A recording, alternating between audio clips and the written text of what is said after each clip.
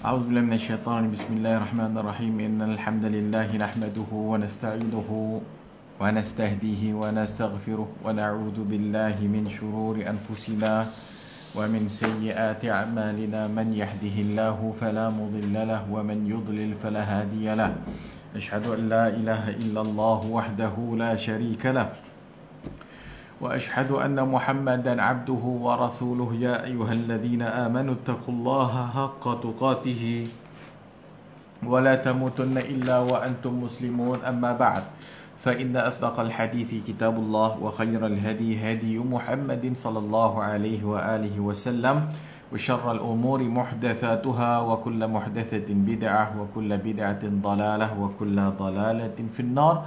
Atau kama qala sallallahu alaihi wa alihi wasallam alhamdulillah kita berada di dalam insyaallah uh, hari ini yang terakhir dalam mensyarahkan uh, kitab yang disyarahkan oleh al-allamah Muhammad Aman ibn Ali al-Jami iaitu asbab sebab-sebab insyirah sadar sebab-sebab lapang dada ataupun sebab-sebab dicerahkan dan diluaskan uh, jiwa seseorang muslim ataupun mukmin oleh Allah Subhanahu wa taala.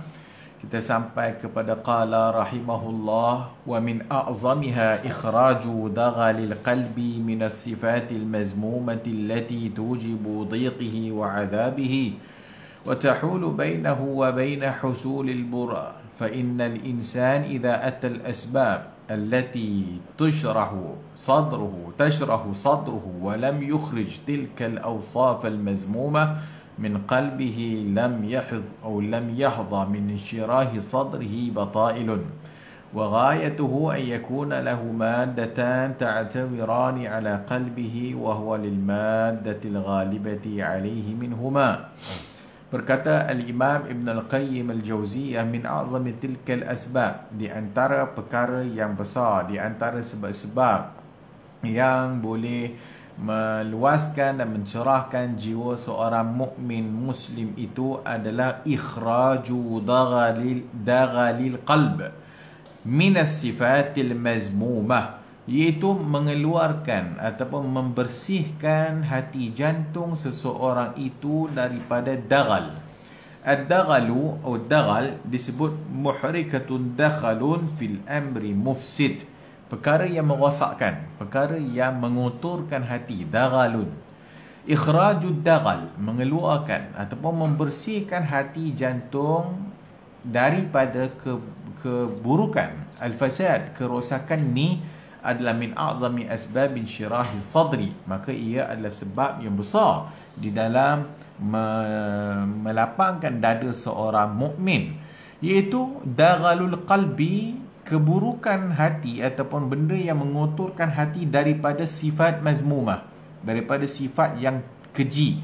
Seperti al-hasad hasad dengki wal haqd al-haqd rasa lebih kurang al-hasad. Al-haqdu disebut intiwa'u ala muda adawati wal baghdha. Iaitu suatu perasaan hiqd sehingga nakkan kepada permusuhan dan juga benci membenci. Al hirsu syadid iaitu bersangatan nakkan kepada dunia. Wa tulil amal panjang angan-angannya. Wa taswifu bit taubah dan apa melewatkan dan meringankan perkara yang melibatkan taubat kepada Allah Subhanahu wa taala. Jadi antara sebab untuk luas dan lapang hati ataupun cerah hati jantung seorang itu adalah membersihkan jiwanya daripada sifat mazmumah, sifat yang terkeji. Al-mubtala bil hasadi iza ra'a ni'matan ala ghairihi orang yang hasad ni bila dia tengok nikmat kepada orang yang ada pada orang lain dia nakkan supaya nikmat itu tidak ada pada orang itu. Itu maksud hasad. Ataupun kata kita dengki lah. Orang dengki ni bila dia tengok nikmat ada pada seorang hamba Allah maka dia bercita-cita untuk nikmat tersebut tak ada pada orang itu. Ataupun dihilangkan daripada orang itu Ataupun kalau sekiranya dia berasa hasad, dia tengok orang tu kaya dan sebagainya dan dia tidak kaya, maka dia nak kalau aku pun tak kaya, maka engkau pun tak boleh kaya. Jika aku ini tidak alim, maka engkau juga tidak boleh alim itu adalah hasad dan ia sifat yang keji سواء انتقلت إليه أو زالت إلى أي جهة لا تطيب نفسه عندما يرى نعمة على غيره من مال وعلم وصحة والتزام أي نعمة يصاب بالحسد maka ini perkara hasad yang sangat-sangat dibenci oleh syara وهذا الحاسد معتاد على الله فإن لسان حاله يقول dan sesungguhnya secara tidak langsung orang yang ada sifat hasad ni atau al-hasidu, orang yang pendengki ni adalah suatu orang yang sebenarnya walaupun dia tak sebut dengan lisannya tetapi secara hakikatnya dia seolah-olahnya lawan ke Allah Azza wa Jalla. Dia seolah-olahnya satu orang yang uh, uh, menzahirkan suatu mu'taridun ala Allah. Suatu sifat yang Eh, tidak suka kepada Allah Subhanahu wa taala. Kenapa? Limaza?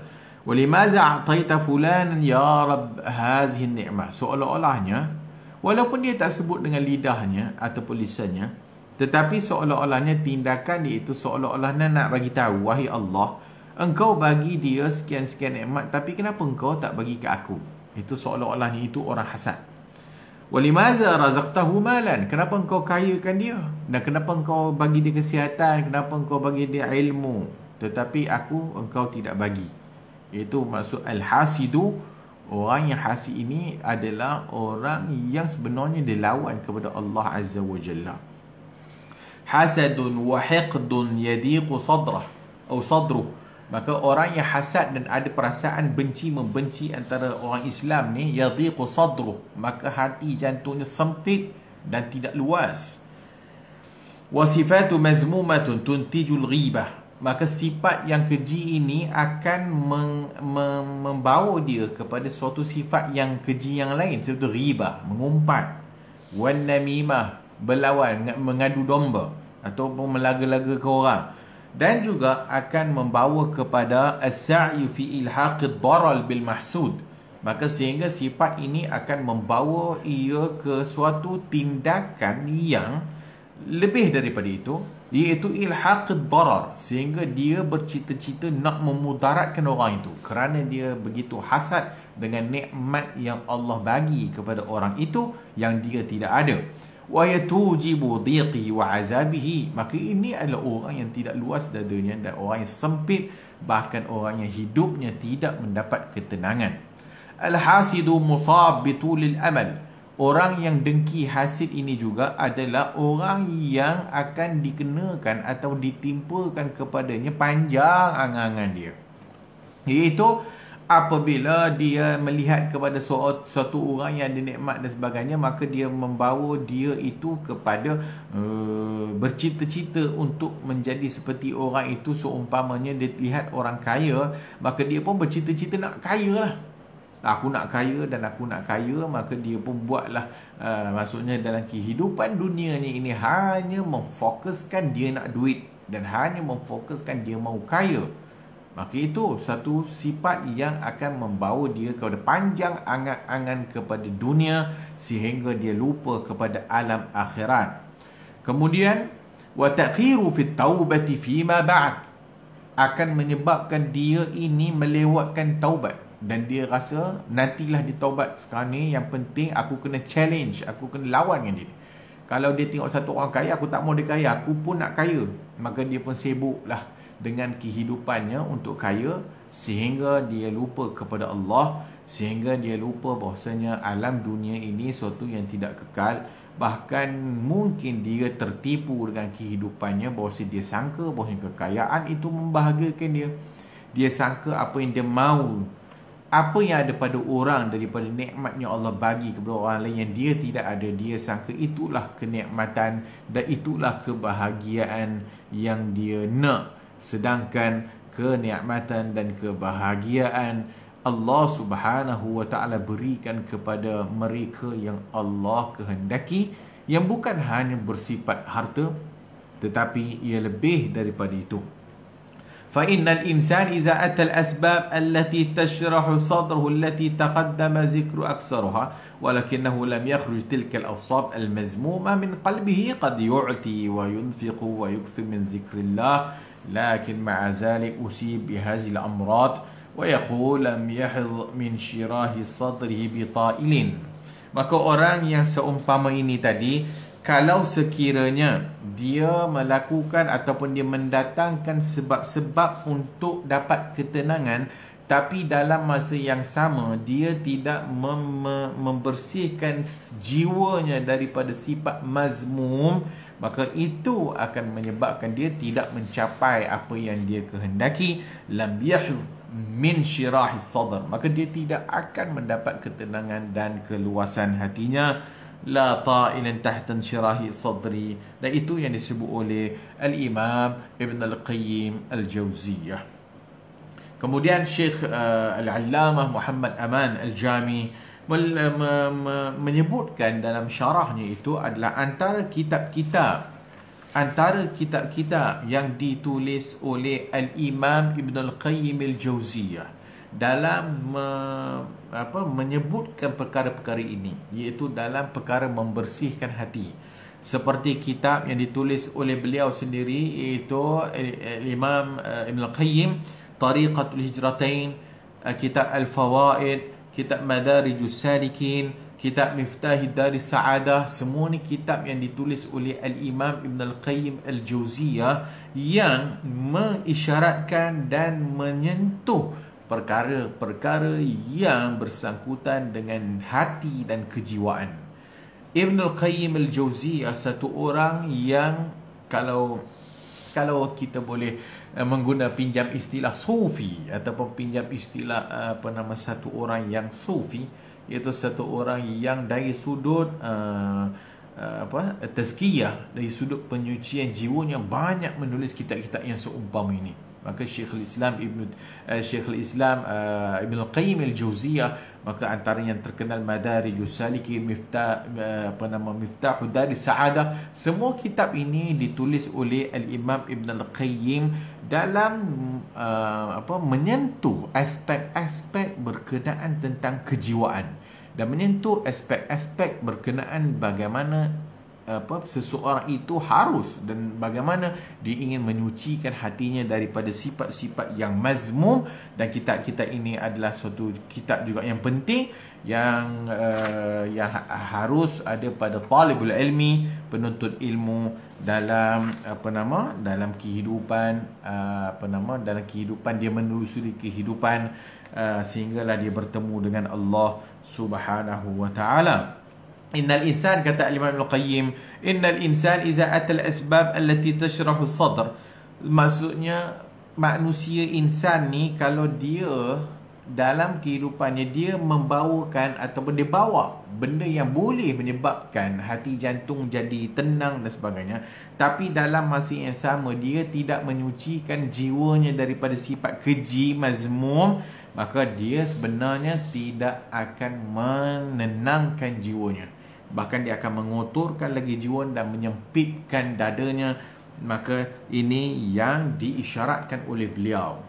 Berikutnya tarku fuduli ma la yanfa. Berikutnya adalah meninggalkan fuduli ma la yanfa. Meninggalkan perkara-perkara yang tak memberi manfaat.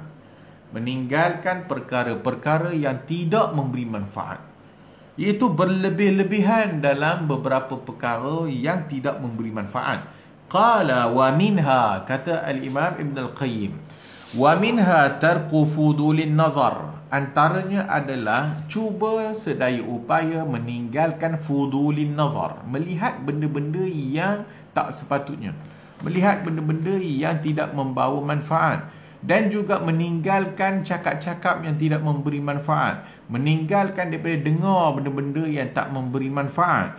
Meninggalkan daripada bercampur dengan orang-orang ataupun bercampur dengan perkara yang tidak memberi manfaat dalam kehidupannya dan meninggalkan makan berlebihan meninggalkan tidur berlebihan. Fa inna hazihi al-fudul tastahilu alaman wa ghumuman wa humuman fil qalb.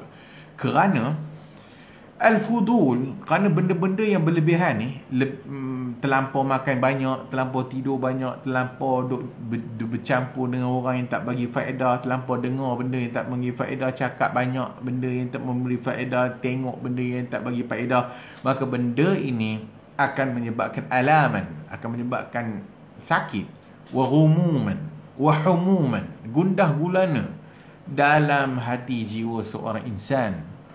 Tahsuruhu wa tahbisuhu wa tadiquhu benda ni akan menyebabkan dia sempit wa yata'azzabu biha. Dan dia akan merasa azabnya benda-benda ni.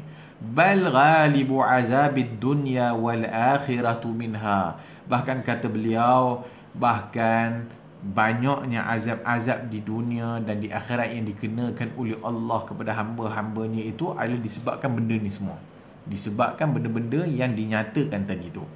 Fala ilaha illallah ma adyaqu sadru من ضرب في كل آفة من هذه الآفات بسهم وما أنكد عيشه وما أسوأ حاله وما أشد حصر قلبه.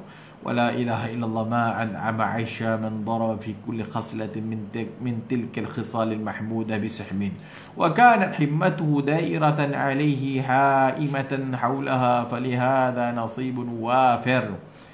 Allah Azza wa Jalla berfirman innal abrara lafi na'im. Sesungguhnya orang yang abrar orang yang baik-baik ini berada dalam kenikmatan. Dan lawannya wa innal fujjara lafi jahim. Dan orang-orang yang fujar orang-orang yang sebaliknya jahat atau membuat kezaliman lafi jahim. Maka berada di dalam jahim neraka. Ini yang telah kita isyaratkan sebelum ini Barang siapa yang tidak merasakan jannah Barang siapa yang tidak merasakan syurga di dunia Maka dia tidak akan merasakan syurga di akhirat. Barang siapa yang merasakan neraka di dunia Maka dia akan merasa neraka di hari akhirat. Maka ini yang diisyaratkan Innal abrara lafi na'im. Orang yang baik-baik ini Allah akan bagi dia penuh kenikmatan. Dan lawannya innal fujar lafi jahim Dan orang-orang yang fujar ini maka dia berada di dalam al-jahim. والمقصود أن رسول الله كان أكمل الخلق في كل صفة يحصل بها انشراح الصدر واتساع القلب وقرة عين وحياة الروح فهو أكمل الخلق في هذا الشرع والحياة وقرة عين مع ما خص به من الشرح الحسي وأكمل الخلق متابعة له Kemudian dia menyebutkan bahawa adalah Nabi sallallahu alaihi wasallam adalah insan yang paling tenang hatinya, insan yang paling cerah dadanya dan juga insan yang penuh kenikmatan berada di atas dunia ini. Nabi kita sallallahu alaihi wa alihi wasallam maka Bagaimana kita ingin mendapatkan nikmat-nikmat ini adalah dengan mencontohi baginda sallallahu alaihi wa alihi wasallam. Maka apabila disebutkan meninggalkan lebih-lebih ni fudul lima la yanfa' benda yang tak bagi manfaat ini, maka inilah yang diisyaratkan di dalam pelbagai hadis Nabi sallallahu alaihi wasallam. Berkata Ali Imam Ibn Al-Qayyim ni tadi, "Wa min asbabin shirahi sadri tarku fudulin nazar." Antara benda yang boleh menenangkan dan mencerahkan dada, meluaskan fikir uh, jiwa seseorang itu adalah meninggalkan daripada berlebih-lebihan dalam melihat. Maksud berlebih-lebihan dalam melihat ni ibta'ada 'anil nazari iaitu menjauhkan diri daripada melihat benda yang diharamkan oleh Allah Subhanahu wa taala ke atas dirinya min jami'il muharramat daripada semua benda yang haram allati ta'tiha bin nazari yang disebabkan penglihatan. Maka jaga penglihatan raddul basar. Maka orang-orang yang tidak menjaga penglihatannya maka dia tidak akan mendapat hati yang tenang jiwa yang yang lapang. Kazalika kaunuka tusafiru la tanzuru kama yaqulun kemudian uh, dia kata fudulin nazari wal kalam meninggalkan daripada banyak melihat dan banyak cakap. Fudulil kalam iaitu lebih-lebih sangat cakap banyak cakap banyak kata orang al kalam muharram. Iaitu percakapan yang membawa kepada yang haram. Seperti an namimah mengumpat mengata orang uh, penyebab kepada melaga-laga ke orang wal kalamul ladzi la ta'ila tahtahu sawalif tadhi'il awqat benda yang membuang masa yaqduna bihal awqat يقتلون به الأوقات وهم يصرحون بذلك يطلب بعضهم بعض الاجتماع ليقضون الأوقات ni benda-benda yang cakap benda yang tak sepatutnya cakap banyak dan kita tahu kalau cakap banyak maka banyaklah kesalahannya. Dan kalau banyak kesalahannya banyaklah dosanya. Dan kalau banyak dosanya maka tempatnya adalah neraka Allah Subhanahu wa taala. Wa fudul istima' berikutnya lebih-lebih cakap. Cakap eh dengar. Fudul istima' fudul al-istima' adalah berlebih-lebihan di dalam al-istima' berlebih-lebihan di dalam mendengar ha, berlebih-lebihan di dalam apa nama uh, mendengar maksudnya uh, mendengar benda tak sepatutnya. Badalan min an yastami' ila kalamillah. Daripada yang sepatutnya dia dengar kalam Allah Al-Quran dan dia dengar hadis-hadis Rasulullah sallallahu alaihi wasallam dia dengar pengajian-pengajian yang memberi manfaat kepadanya dia hadir kepada majlis-majlis yang memberi manfaat maka ini adalah perkara yang bagus tetapi sebaliknya kalau sekiranya banyak dengar benda-benda yang tak sepatutnya dengar benda-benda yang tidak mendatangkan faedah banyak dengar muzik maka dia pun merasakan bahawasanya dengar lagu itu lebih menenangkan daripada mendengar kalam Allah mendengar lagu dan sebagainya itu ataupun uh, benda-benda yang tak memberi manfaat itu dia rasa lebih menenangkan daripada mendengar hadis-hadis Nabi sallallahu alaihi wasallam maka ini adalah fudulil istima' maka ini adalah mendengar perkara-perkara yang tak memberi manfaat kepada dirinya yang akan menyebabkan hati jantungnya itu tidak tenang dan tidak luas. Wa fudulin naum, lebih tidur. Tidur yang berlebihan yaqdi aktsaru awqati fi naum. Dia menghabiskan kehidupannya atau waktunya dengan tidur. Wa qad qil inna ba'd al-battalin fi hadhihi al-ayyam yaji'u min al-'amal bil-layl. ويضبط ساعة على ساعة سابعة صباحا لئلا يفوته الدوام ليس له هم في الصلاة الفجر فضلا عن قيام الليل بل محافظة كلها على الدوام maka ini orang-orang yang lebih tidur dan sebagainya bahkan kalau bangkit pun bangkit sebab sibuk nak kerja bangkit sebab sibuk nak buat hal-hal keduniaan sehingga semayang pun tak dijaga dan sebagainya maka ini adalah orang yang tidak akan mendapat ketenangan di dalam dunia ini dan orang yang tidak akan dilapangkan dadanya oleh Allah Subhanahu wa taala.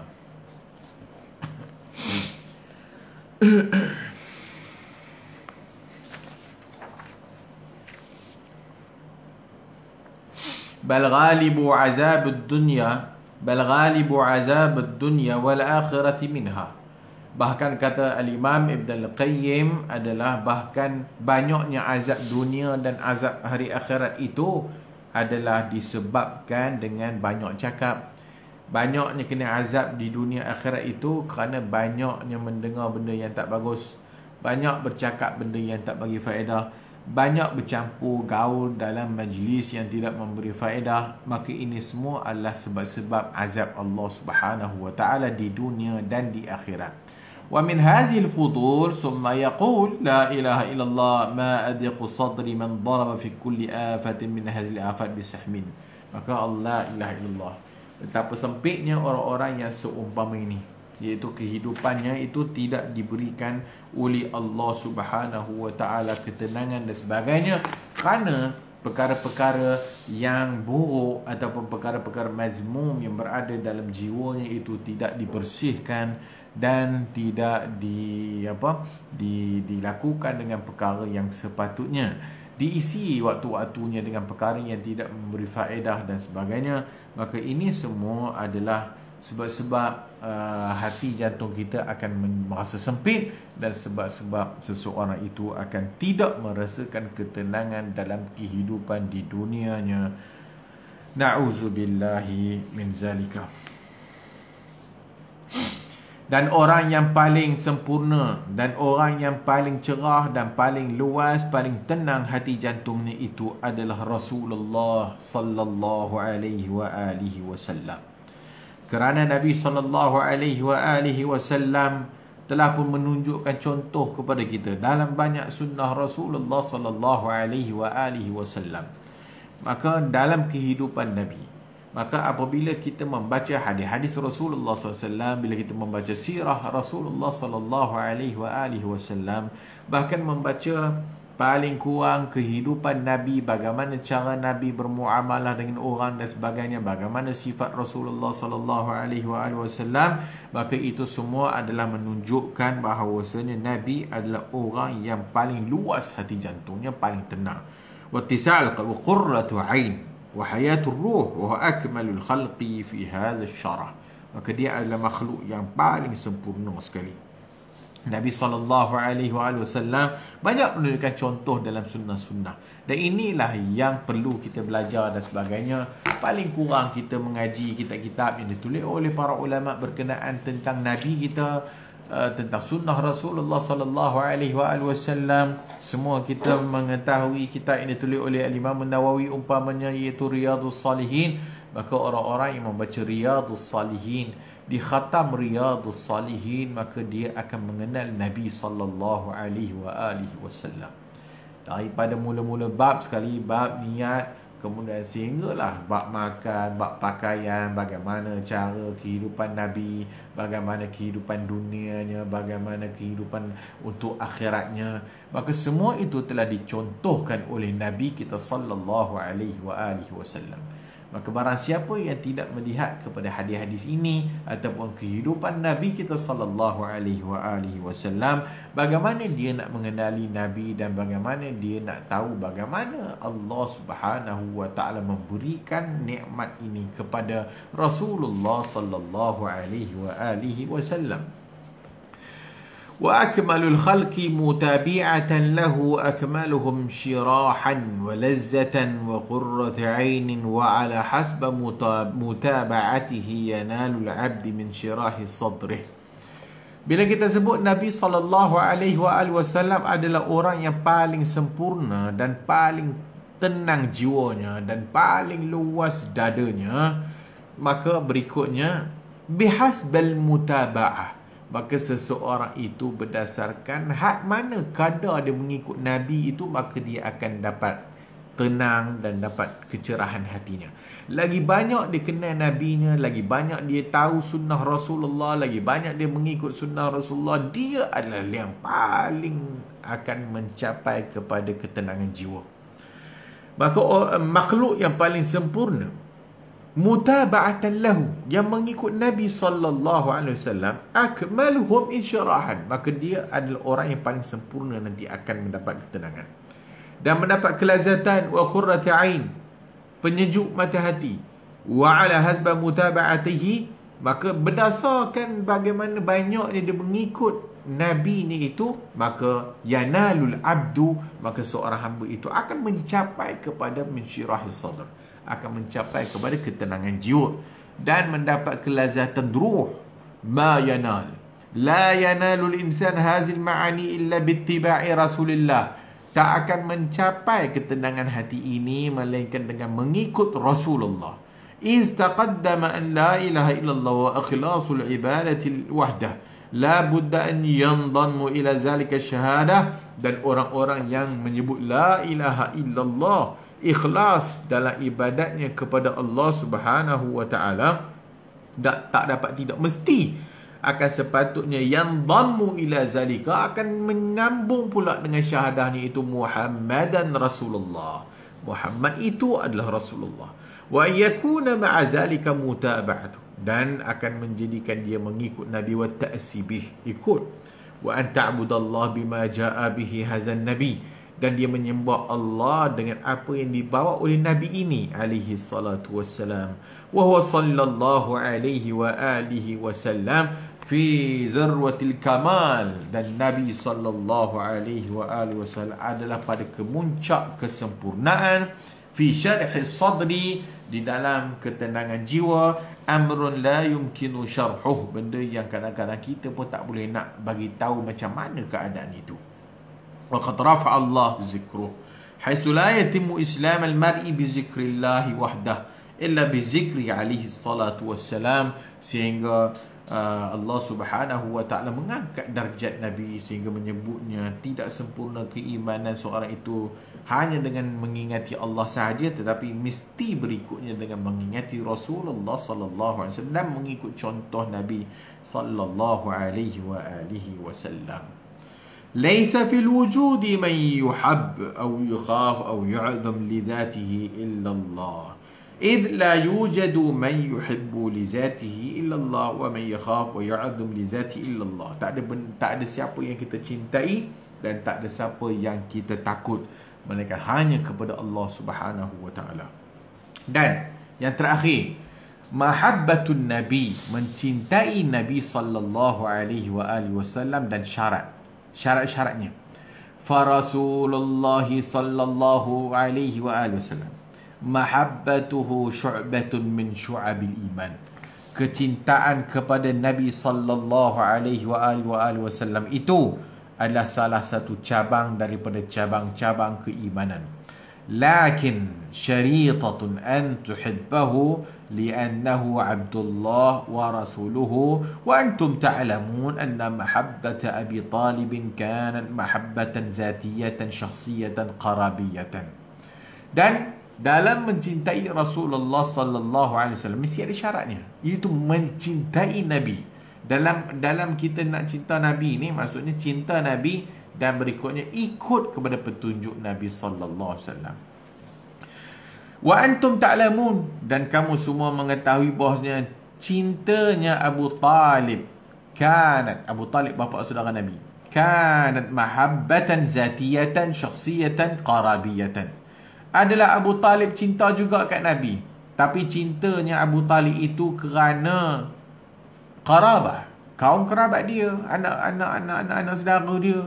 Bahkan bukan kerana kecintaan itu kerana Allah Azza wa Jalla. Lam tufidhu. Tidak memberikan faedah kepadanya. Al-matlubah yang dituntut.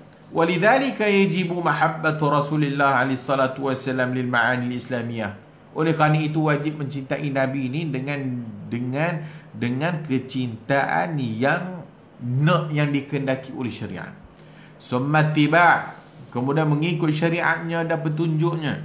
Wa alla ta'budullah illa bima ja'a bihi hadzal nabiyil karim. Dan tidak kita menyembah Allah Ta'ala melainkan dengan cara yang dibawa oleh Nabi kita ini yang mulia alaihi salatu wassalam. Wali atba'ihi min zalika bihasba nasibuhum min ittiba'ihi wallahu musta'an dan bagi orang yang mengikutnya wali atba'ihi dan orang-orang yang mengikutnya itu ber, berdasarkan kepada kadar dia ikut kepada Nabi sallallahu alaihi wa alihi wasallam apa maksudnya maksudnya satu orang yang lebih mencintai Nabi dan apa nama mengenal Nabi ini maka dia akan membawa dia ini kenal sehingga dia men- mengikuti Nabi sallallahu alaihi wasallam dalam segenap urusan. Antara orang yang mungkin mengikut sunnah dalam dua tiga benda dia tidak akan sama kenikmatan dan dia tidak akan sama lapangnya dada terasa luasnya jiwa dia itu dengan satu orang yang mengikut Nabi dalam segenap hal kehidupannya. Satu orang yang hanya mengikut Nabi dalam bab kahwin saja. Yang bab kahwin sibuk nak ikut Nabi. Tapi dalam bab yang lain-lain dia tak ikut. Bab solat tak ikut. Bab puasa dia tak ikut. Maka dah tentu tak sama dengan orang yang mengikut dalam segenap hal. Orang yang konon-kononnya mengatakan hanya mengikut Nabi, cinta Nabi sallallahu alaihi wasallam tapi dalam solatnya pun tak mau ikut sunnah Dalam buat haji pun tak nak ikut sunnah. Ataupun dia kata dia cinta kepada Rasulullah SAW Tapi akidahnya tak macam akidah Nabi. Maka semua ini bihasbah berdasarkan hal keadaan setiap individu Bagi orang yang kata mencintai Nabi Dalam masa yang sama buat bid'ah Maka dia tak sama dengan orang yang mengikuti Nabi Dengan betul-betul cara mengikuti Nabi dan melawan kepada bid'ah. Maka ini yang dimaksudkan oleh Al-Imam Ibn Al-Qayyim Al-Juziyah. Maka setiap orang itu kadar Allah bagi keterangan jiwanya dengan kadar dia ikut Nabi itu. Lagi banyak kita kenal Nabi, lagi banyak kita ikut cara Nabi dan cinta ni akan menyebabkan kita tahu daripada bangun bangkit tidurnya Nabi itu dibuat apa sehingga Nabi tidur balik dibuat apa maka itu adalah orang yang akan Allah Taala kurniakan lebih ketenangan dalam kehidupan hariannya. Satu orang yang selalu dengar sunnah Rasulullah, selalu baca hadis dengan satu orang yang mungkin baca hadis pun sebulan sekali ataupun memang tak pernah baca hadis pun dengar pun tak tahu wah ini buah hadis ni hadis ke apa kau apa dia tak tahu. Yang dia tahu nama Nabi Muhammad itu je. Yang dia tahu Nabi sallallahu alaihi wasallam dalam syahadahnya tak ada ilah yang berhak tak ada tuhan melainkan Allah dan uh, apa nama dan Muhammad itu pesuruh Allah. Tapi dalam kehidupan dia tak tahu apa yang perlu dia lakukan dan tanggungjawab dia terhadap Rasulullah SAW. Maka dah tentulah tak sama dengan orang yang mengenali Nabi dengan haqqa dengan pengenalan yang yang yang betul-betul yang dikendaki oleh syariat Allah Subhanahu wa taala. Wa hakaza li atba'ihi nasibun min hifzillahi lahum. وعصمته إياهم وهذه هي معاني المعية dan begitulah Allah Subhanahu wa taala menjaga hafizallahu li atba'i nabiyhi alaihi salatu wassalam Allah Subhanahu wa taala akan memelihara dan menjaga orang-orang yang mengikut nabinya alaihi salatu wassalam siapa yang cinta akan Allah fattabi'uni kena ikut Allah Man ata'ani siapa yang taat kepada aku kata Nabi faqad ata Allah. Maka siapa yang cinta Nabi maka dia akan mendapat cinta Allah Subhanahu wa taala. Maka beginilah atba'ihi pengikut-pengikutnya itu nasibun min hifzillahi lahum wa isbatihi iyyahum wa hadhihi ma'al ma'iyyah al-khassah. Dan inilah makna ma'iyah kebersamaan yang khusus ودفاعه عنهم Subhanahu wa ta'ala yudafi'u يدافع عن الذين آمنوا واتبعوا رسوله Subhanahu wa ta'ala akan menjaga dan memelihara orang-orang yang beriman dan mengikut Rasulnya. Dan mengikut Rasulnya itu dengan betul cara ikutnya. Jangan kita apa nama hanya mendakwah kita ikut Nabi sallallahu alaihi wasallam tapi dalam masa yang sama sebenarnya kita tidak mengikut Nabi bahkan kita buat sesuatu yang bercanggah dengan Nabi sallallahu alaihi wa alihi wasallam min tahqiqil ubudiyyati daripada start dengan akidahnya sehinggalah kepada perkara-perkara yang lainnya وهو لا تحب إلا ما يحبه ولا تكره إلا ما يكرهه لا تحب إلا ما يحبه ربك wala tuhibbu min al-a'mali illa ma yuhibbuha. Maka orang-orang yang hanya apa uh, tidak cinta mereka apa yang Allah Taala cinta maka apa yang Allah Taala cinta dia pun cinta. Apa yang Allah benci dia pun benci. Apa yang Allah Subhanahu wa taala suka daripada amalan dia pun buat dan sebagainya. Maka ini semua adalah benda yang secara umumnya mengundang kepada kenikmatan dan mengundang kepada kehidupan yang yang yang tenang yang bagus di sisi Allah Subhanahu wa taala. Faman a'rada an zikri fa inna lahu ma'ishatan danka ingat ayat ini barang siapa yang berpaling dari Allah fa inna lahu ma'ishatan danka maka baginya itu hidup yang sempit. Wa nahsyuruhu yaumal qiyamati a'ma. Dan akan kami bangkitkan dia pada hari kiamat dalam keadaan buta dan apabila dia berkata kepada Allah Subhanahu wa taala wahai Allah Subhanahu wa taala kenapa engkau bangkitkan aku dalam keadaan buta? Waqad kun waqad kuntu basiran. Dan sedangkan waktu aku dunia aku tidak buta maka Allah Subhanahu wa taala kata engkau melupai aku sewaktu di dunia maka pada hari ini engkau dilupakan. Mudah-mudahan Allah Subhanahu wa taala mengampuni dosa kita Mudah-mudahan Allah Subhanahu wa taala memberikan kita ilmu yang bermanfaat. Iaitu ilmu yang akhirnya membawa kita kenal Allah. Ilmu yang membawa kepada kita kenal cinta kepada Nabi kita sallallahu alaihi wasallam. Ilmu yang membawa kita faham apa tanggungjawab kita terhadap Allah dan nabinya dan dengan itu Allah Subhanahu wa taala akan memberikan kita ini kehidupan yang tenang dan insya-Allah Allah akan memberikan luas dada Allah akan bagikan kita macam-macam yang kita kehendaki kalau sekiranya kita menjaga Allah ihfazillah yahfazka Jika engkau jaga Allah, Allah memeliharamu dan Allah menjagamu. Ihfadillah yahfazka. Ihfadillah tajidhu tujahak. Dan kalau sekiranya kamu melihat menjaga Allah, tajidhu tujahak. Allah berada di hadapanmu.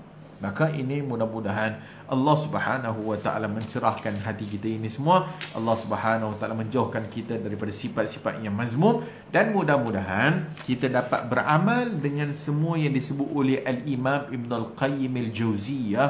Bermula daripada pertama dulu adalah tauhid.